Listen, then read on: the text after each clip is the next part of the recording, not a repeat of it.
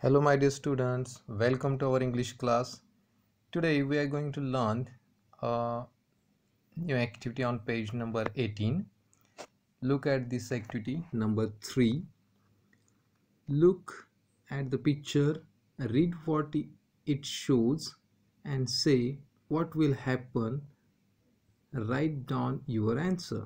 चित्र पहा वर्णन वाचा पुढे काय होईल ते सांगा तुमचे उत्तर लिहून काढा. Now look at the first picture Mr Clean does not like the scribbling on the wall scribbling म्हणजे काहीतरी रेखाडणे खरं भिंतीवर म्हणजेच काहीतरी लिहिणे.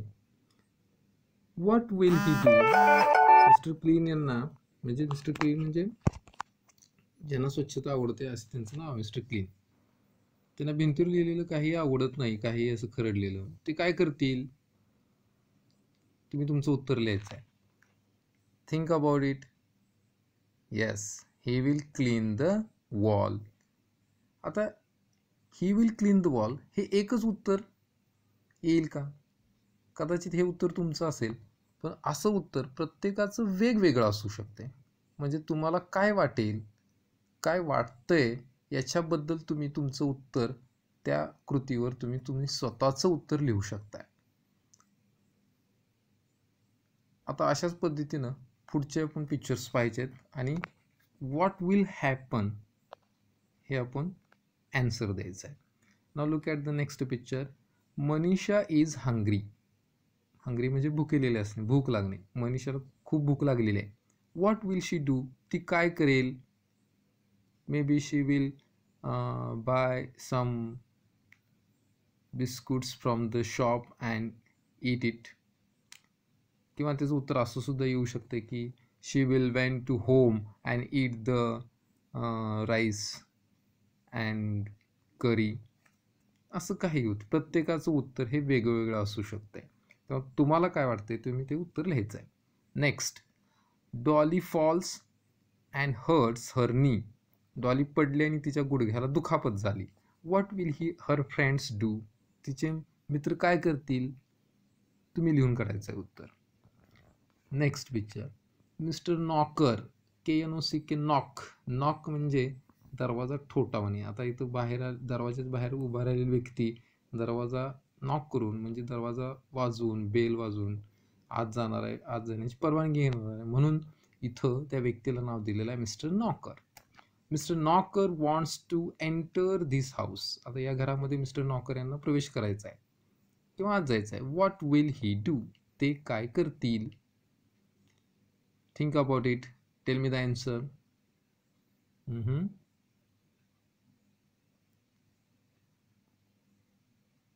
याचं उत्तर असं येऊ शकते.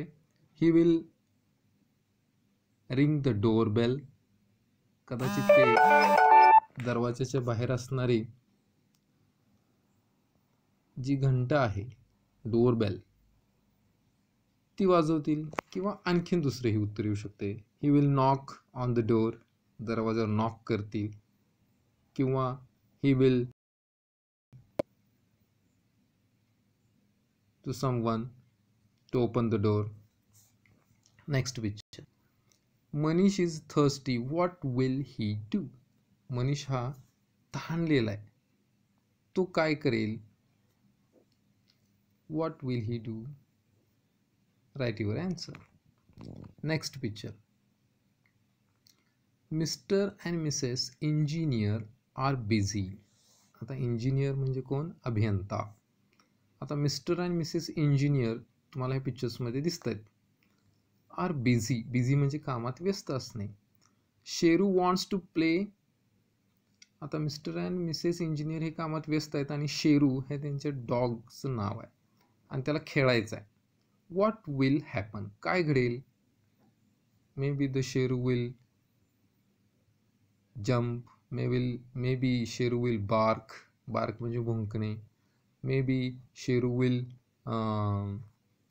bite mister engineer and missus engineer तुम्हाला जे वाटते ते तुम्ही लिहायचं तिथे next picture it is about to rain what will they do now look at the next uh, uh, four pictures given below the first six pictures पहिल्या सहा चित्रांच्या खालच्या बाजूला एक चार चित्र दिलेले आहेत बघा.